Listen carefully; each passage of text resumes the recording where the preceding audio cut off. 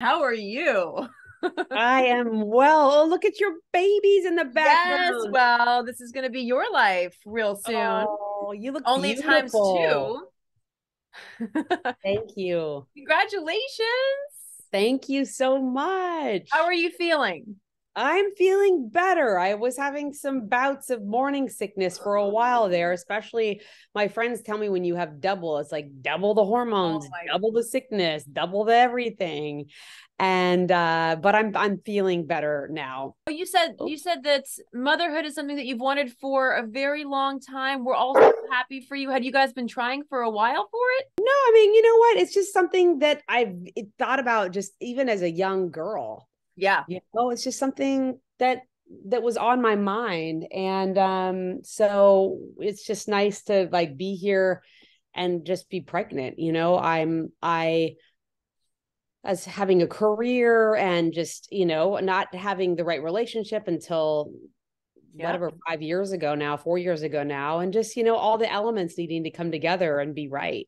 Yeah, that's what happens. I mean, you're like career driven and until like a certain point, then you meet you meet the right person and it just all falls into place. I love that.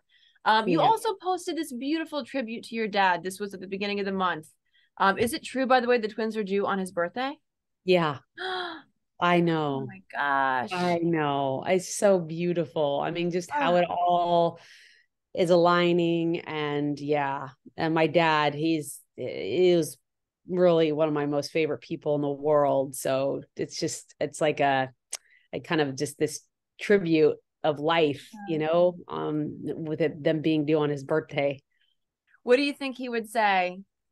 Oh, he would be elated. He'd be so happy Mm. for me. He just wanted me to have everything that I wanted in my life, you know, and um so I know that it would be something that would bring him a lot of joy to see me in so much joy. It's always a funny story, like when you have to tell everybody else that you're Yeah. pregnant. So, like, what was that? What was that for you on set? Like, how did you let people know? And was it in wardrobe?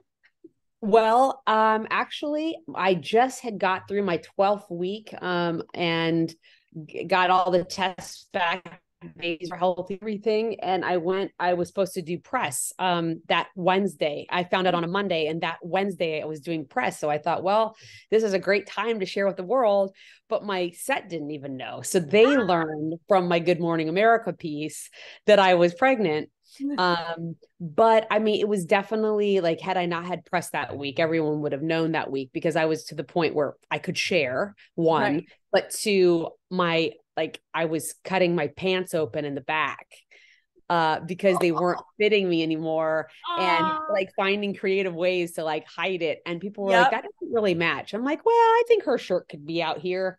yeah, know- yeah. Not a direct cut. and then you were like, guys, it's not a burrito; it's actually two babies. exactly.